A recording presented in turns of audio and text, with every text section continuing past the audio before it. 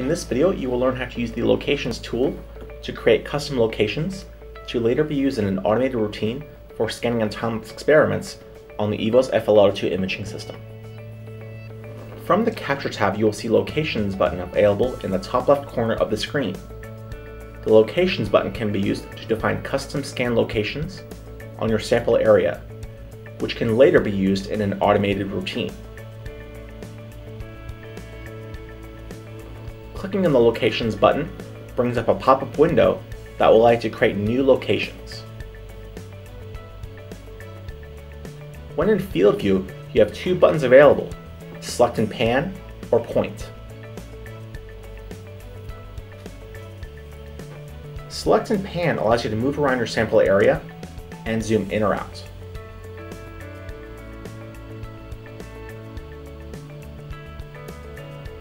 Point allows you to drop pins at a location of interest. Pins allow you to define a specific field of your sample area that you wish to image. These pins can be imported later in an automated tab to be used in an automated routine.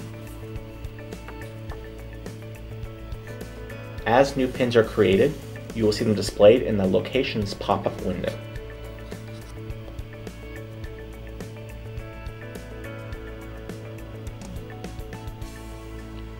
When in Area View, you will have the ability to create shapes on your area map to define locations of interest. In addition to select and pan and point, you will also have the ability to create ellipses, rectangles, or a freeform shape.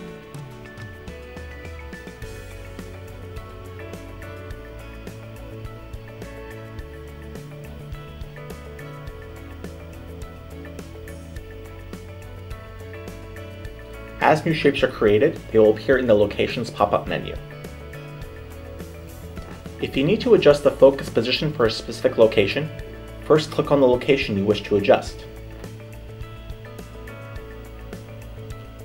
Next, turn on your light.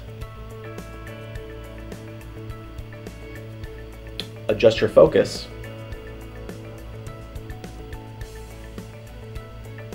And finally, click ZZ in the Locations pop-up menu next to your location. Click Done to close the Locations pop-up menu.